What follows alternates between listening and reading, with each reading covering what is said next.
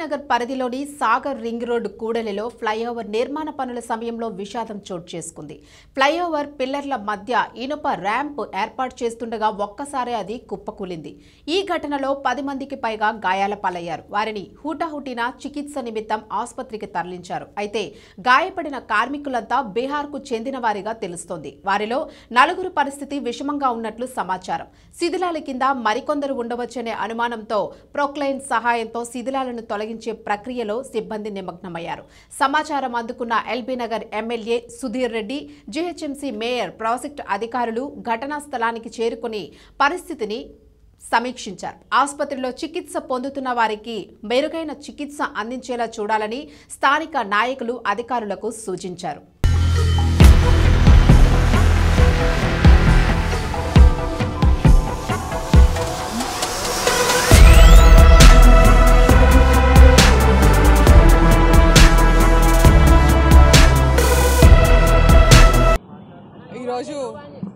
ఈరోజు తెల్లవారుజామున LB Nagar ramp flyover ramp ఒక చిన్న మైనర్ ఇన్సిడెంట్ అయింది slab వేస్తుండగా for some reason scaffolding or something ఏదో అయింది.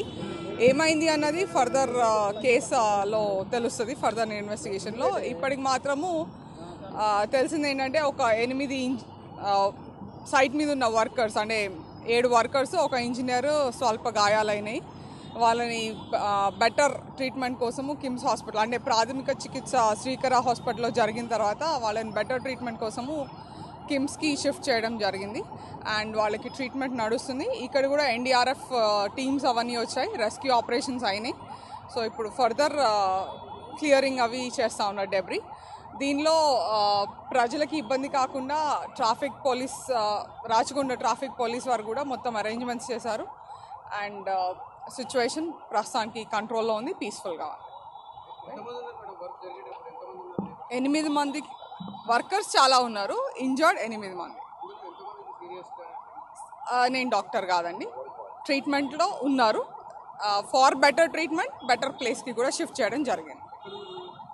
కిమ్స్ సికింద్రాబాద్లో ట్రీట్మెంట్ అవుతా. అవుతుంది. కేసు రాత్రి తెల్లవారుజామున మూడున్నరకు అని చెప్తా ఉన్నారు. నిర్మాణంలో ఉన్న ఏదైతే ఈ ఫ్లైఓవర్ బ్రిడ్జ్ ఉందో రాత్రి అకస్మాత్తుగా కూలిపోవడం జరిగిందని చెప్పేసి చెప్తా ఉన్నారు. ఇది పనులు రెండు వేల పదిహేనులో శాంక్షన్ అయినాయి. రెండు వేల పదిహేను నుంచి పనులు నడుస్తూ ఉన్నాయి. గత ఎనిమిది ఎనిమిది సంవత్సరాల నుంచి అడావిడి లేదు.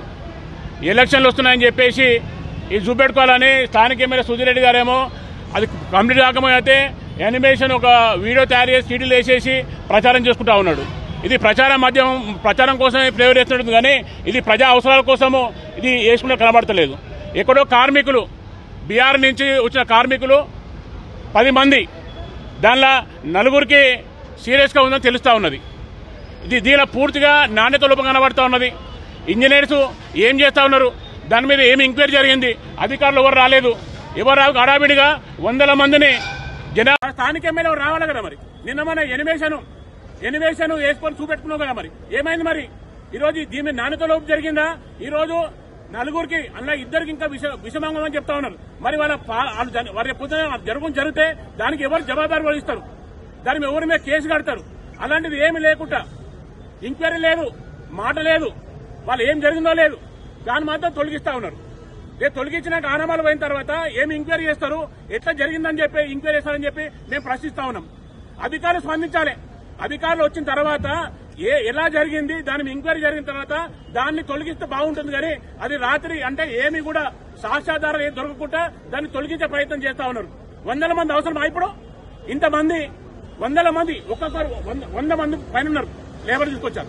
కార్మికులను తీసుకొచ్చి దాన్ని తొలగే ప్రయత్నం చేస్తారు. దీన్ని మేము ఖండిస్తా ఉన్నాం ఇలాంటి దుర్మార్గమైన పని కమిషన్ల కోసమే కడతా ఉన్నారు కాంట్రాక్ట్. రెండు వేల పదిహేను నుంచి ఎనిమిది సంవత్సరాల వరకు ఏం చేశారో అర్థం కాని పరిస్థితి. ఎలక్షన్ల కోసం కడుతుందని చెప్పి అర్థమవుతోంది పూర్తిగా అది నాణ్యత లోపంతోనే నాణ్యత లోపంతోనే జరిగింది కాబట్టి దీని మీద ఖచ్చితంగా ఎంక్వైరీ జరగాలి. ఎవరైతే బాధితులు ఉన్నారో పది మందికి దెబ్బలు లాగిన నలుగురు విషయం ఇద్దరికి చాలా సీరియస్ అన్నారు ఖచ్చితంగా వారిని ఆదుకునే విధంగా కాంట్రాక్టర్ మీద కేసు కట్టాలి స్థానిక ఎమ్మెల్యే మీద కేసు కట్టాలి. ఎందుకోసం కంప్లీట్ కాకపోతే ఎన్ని వేసులు వేసుకొని ప్రచారం చేసుకుంటా ఉన్నాడు. ఆయన మీద కేసు కట్టాలని చెప్పేసి మేము డిమాండ్ చేస్తా ఉన్నాం. ఈరోజు బయలుదేరి కూడా టెన్షన్లో డ్రైవర్ కూడిన సందర్భంగా చూస్తా ఉన్నాం వరకు. ఈ థర్టీ పర్సెంట్ కమిషన్ ప్రభుత్వం ఈ వర్కుల మీద శ్రద్ధ లేదు. క్వాలిటీ లేదు. హడావిడిగా ఫోటోలకు ఫోటో ఇస్తందుకు ఈ బ్రిడ్జిలు నిర్మిస్తందుకు ఉన్నట్టున్నాయి తప్ప ఈ ప్రజలకు అవసరం వచ్చే బ్రిడ్జిలు కావు ఈ రెండు సర్కిళ్ళు కూడా. మనం సాగర్ రోడ్ నుంచి వస్తే ఎల్బీ నగర్ పోతే ఒక హాఫ్ కిలోమీటర్లో మనం ఎల్బీ నగర్ రీచ్ అవుతాం ఇదంతా ఒక కిలోమీటర్ తిరిగి వచ్చి మళ్ళీ పోయి ఆట దిగాలి మళ్ళీ ముందు. వీళ్ళకి కొంతమందికి టిఆర్ఎస్ నాయకులకు వాళ్ళ స్వార్థం కొరకు ఈ రెండు సర్కిల్ క్రియేట్ చేసినట్టు. ఇది కాకుండా ఎల్బీ నగర్లో చాలా సమస్యలు ఉన్నాయి. చాలా ప్రాంతాల్లో ట్రాఫిక్ సమస్యలు ఉన్నాయి. అలాంటి ట్యాగ్ల ఈ బ్రిడ్జిలు వేస్తే బాగుంటుండే. అంతేకాకుండా ముఖ్యంగా వీళ్ళు థర్టీ పర్సెంట్ కమిషన్ తీసుకొని ప్రభుత్వం కడుతున్న స్టేజ్లనే బ్రిడ్జిలు కూలిపోతున్నాయంటే ఏ రకంగా వీళ్ళు పనులు చేస్తున్నారో మనం ఒకసారి అర్థం చేసుకోవాలి. నిన్న మొన్న డబుల్ బెడ్రూమ్ల దగ్గర మా షబ్బీర్ గారు మాజీ మంత్రి గారు బయలుదేరించారు. కట్టెపుల్లతో తీస్తే మొత్తం కిందంగా బొయారాలు ఏర్పడ్డాయి డబుల్ బెడ్రూమ్ ఇళ్ళ కాడ. మొన్న దుర్గాంజాల్ మున్సిపాలిటీలో ఇంజాపూర్లో నీళ్ళల్లో కట్టారు. దాదాపు రెండు సంవత్సరాలు అవుతుంది అవి కూలిపోతున్నాయి తప్ప ఎవరికి ప్రజలకు అందుబాటులో రావట్లేదు. వీళ్ళు ఫోటోలకు ఫోన్లు ఇచ్చుకుంటేందుకు పేపర్లలో యాడ్లు ఇచ్చుకుంటేందుకే బిల్డింగులు చూపించారు కింద పోయారం పైన పటారం లాగా వీళ్ళ కన్స్ట్రక్షన్లు ఉన్నాయి. ఏ మన ప్రాంతంలో కూడా ఏ ఒక్క వర్క్ కూడా నాణ్యత లేని వర్కులు జరుగుతున్నాయి. దానికి నిదర్శనమే ఈ రోజు బయర్మల్ కూడా పిచ్చి కూలిపోవడం అని నేను తెలియజేస్తున్నాను. అంతేకాదు ముఖ్యంగా మన ప్రాంతంలో ఇంకా చాలా సమస్యలు ఉన్నాయి. ట్రాఫిక్ సమస్యలు ఉన్నాయి. ఎల్బీ నగర్లో బ్రిడ్జిలు ఆ రోజు కాంగ్రెస్ ప్రభుత్వం ఉన్ననాడు ఒక పద్ధతి ప్రకారం ఏది అవసరం అది చేశారు. ఇది ప్రజలకు అవసరం లేని పెన్షన్ కొన్ని కడుతున్నారు. ఇది ఖచ్చితంగా మరి దీని మీద సమగ్రమైన దర్యాప్తు జరగాల్సిన అవసరం ఉంది. ఉదయం మూడు గంటల రాత్రి కూలిపోతే ఇప్పటిదాకా ఒక అధికారి లేడు ఒక కాంట్రాక్టర్ లేడు మరి ఒక నాయకులు ఈడ లేరు అనేది సందర్భంగా మనవి చేస్తాం.